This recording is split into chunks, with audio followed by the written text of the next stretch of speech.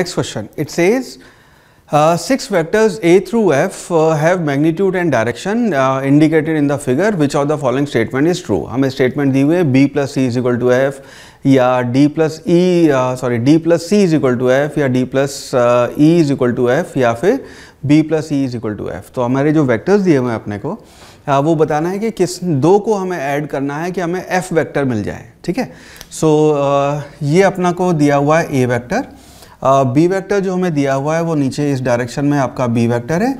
C vector जो दिया है, वो आपका इस डायरेक्शन में सी वेक्टर है। और डी वेक्टर आपका ऊपर की डायरेक्शन में this is R D vector और ई e वेक्टर जो है वो इस डायरेक्शन में ई e वेक्टर है और एफ़ वेक्टर जो दे रखा है जो अपना फाइनल रिजल्टेंट वेक्टर है जिसके बारे में हमें बात करना है वो एफ़ वेक्टर इधर है। नाउ सिंपल सा वेक्टर की एप्लीकेशन है। किन दो वेक्टर्स को इनमें से ऐड करें कि आपका एफ़ वेक्टर बन जाए ये हमें बताना है। सो so, अगर एफ़ हमारा रिजल्टेंट वेक्टर है तो उस केस में दो वेक्टर इस डायरेक्शन में और इस डायरेक्शन में होने चाहिए। उन्हीं दो वेक्टर्स का रिजल्टेंट इस डायरेक्शन में आएगा। ना अब uh, इन बाकी के पाँच में से हमें फिगर आउट करना है कौन से दो वेक्टर इस डायरेक्शन में है।